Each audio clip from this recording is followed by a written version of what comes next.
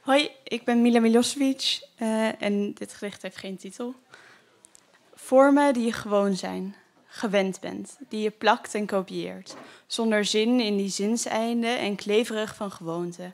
Herhaal je, haper je in oude vormen, terwijl je overneemt, spiekt en afkijkt, met beide ogen schijnbaar voor je gericht. Fouten maken, steken die vallen, alinea's weg en komma's terug, zinnen en gedachten neem je over, geef je over, tot ze je overkomen. En zij hameren op herhaling. Het kleeft, het plakt en het blijft. Althans voor even.